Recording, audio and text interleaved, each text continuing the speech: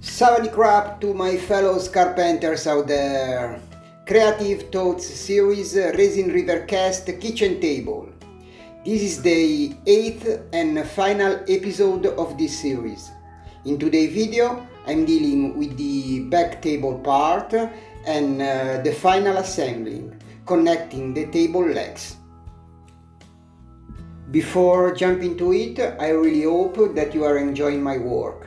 I'm trying to do my best, believe me.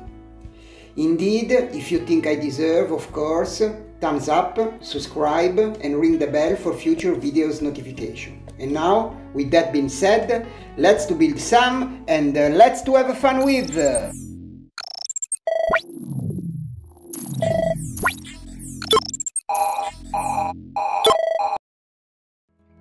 Okay guys, Creative Thoughts series Resin River Cast Kitchen Table.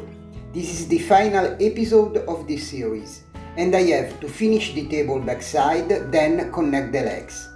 Then the table will be ready. So I begin uh, today's project with the table back part, removing the so-called dripping effect produced by epoxy seal coats. Before apply final seal coats to the other side of the table, I wrap layers of scotch tape. Epoxy doesn't stick to plastic smooth surfaces. Indeed, this solution is really helping. Removing the so-called dripping effect is much much easier if uh, you are interested in how I ended up to this point, above my head, web link to this series playlist, where you can watch all related videos.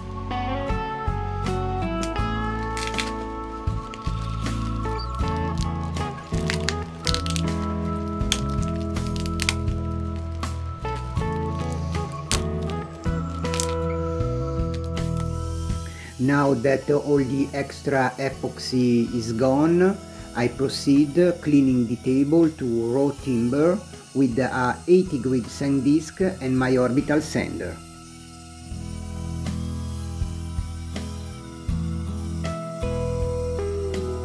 So I'm cleaning the table, removing all the extra epoxy and uh, bringing back to raw timber.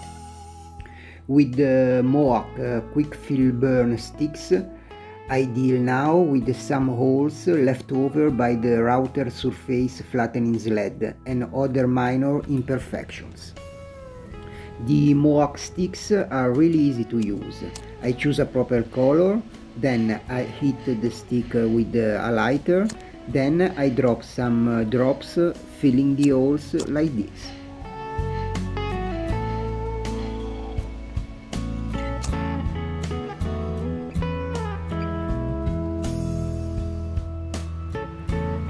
The stick filler dries in a few minutes, then I can remove the extra material with a blade.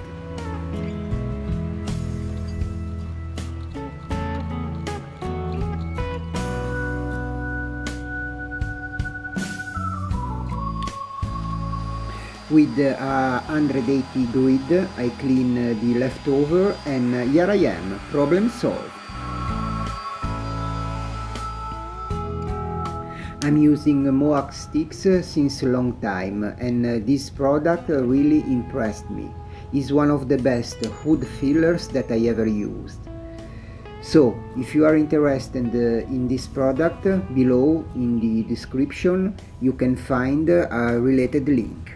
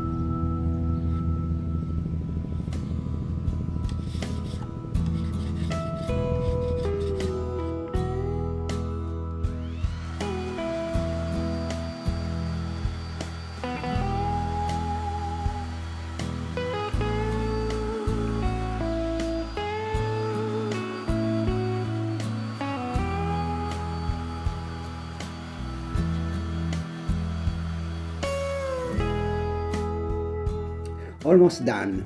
I'm mixing 150 grams of epoxy and I go for a couple of seal coats, just enough resin to protect the timber.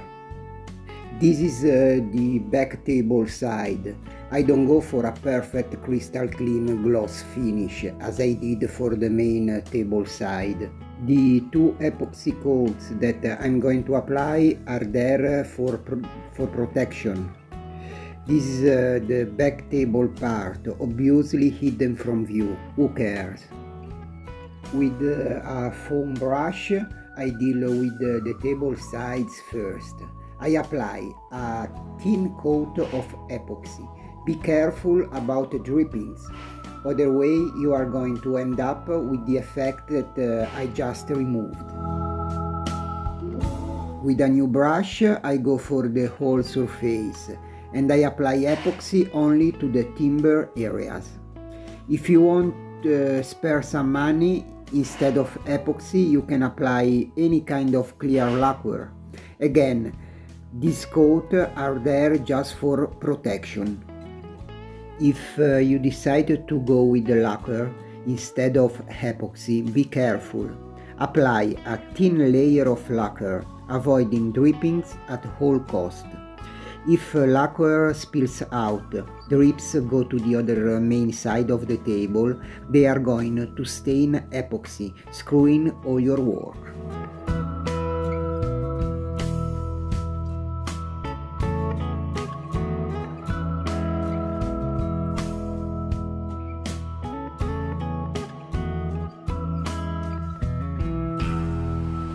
With a torch I'm removing uh, air bubbles forming then I will give to epoxy 24 hours to cure then I will repeat the exact same process sanding and apply another final coat of epoxy. Last step of the process, assembling all together. The table is really heavy, we are talking about 80 kilos about. I don't have a big car, I can't assemble the table and transport it from my laboratory to home. Yes, the table is for, for my kitchen. So, I'm here home and I proceed with the, the final assembling. With the engineer squares, I make sure that the leg structures is in the table center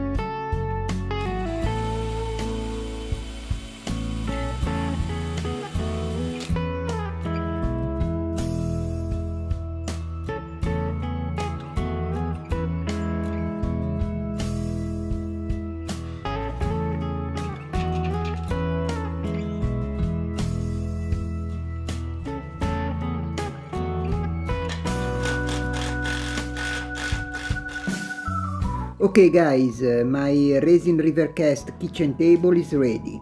It was a project that took uh, a full month about. However, it was uh, worth it all. In the meantime, thank you very much for watching and uh, see you soon in the next video.